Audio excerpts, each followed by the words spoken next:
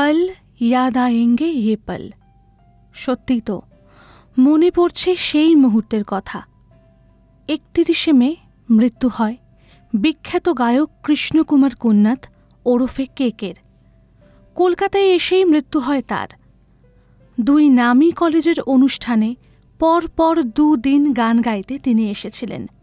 সমাজ মাধ্যমে সেই নিয়েই তৈরি হয়েছিল ভীষণ উন্মাদনা।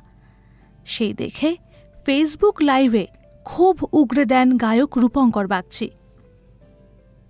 তিনি মন্তব্য করেন? তারপরেই স্টেজে গান গাইতে গাইতেই মৃত্যু হয় বিখ্যাত গায়ক কেকের। তার জেরেই শুরু হয় তুমুল বিতর্ক। নেটিজেনদের একাংশের বক্তব্য ছিল রূপঙ্করের অভিশাপেই মৃত্যু হয়েছে কেকের। ক্ষমা চেয়েও রূপঙ্করকে ক্ষোভের মুখে পড়তে হয়েছিল। নামি একটি সংস্থার জিঙ্গেল থেকেও বাদ দিয়ে দেওয়া হয় তাকে। তারপর সাংবাদিক বৈঠক ডেকে তিনি ক্ষমাও চেয়েছিলেন। এই সব কিছুর পর পেরিয়ে গিয়েছে গোটা এক বছর। একত্রিশে মে, কেকের প্রথম মৃত্যুবার্ষিকী। কেকের প্রতি শ্রদ্ধা জানিয়েছেন গায়ক রূপঙ্কর নিজে।